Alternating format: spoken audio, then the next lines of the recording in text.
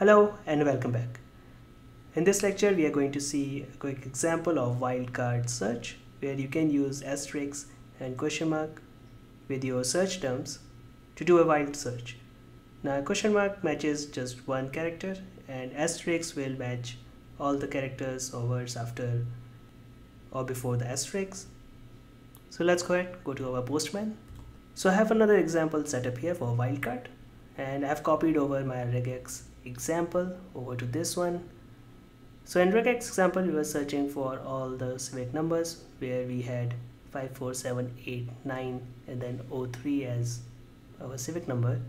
Now let's see I want to just search for all the civic numbers ending in 03 so I can put dot star here and search for it and let's see what we got.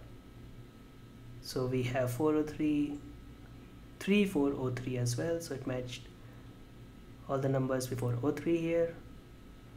We have 303 3403 so you can see that it's matching all the numbers or everything before 03 now let's say if I just want to match one character here I can do question mark here. And this time we have 503 303 103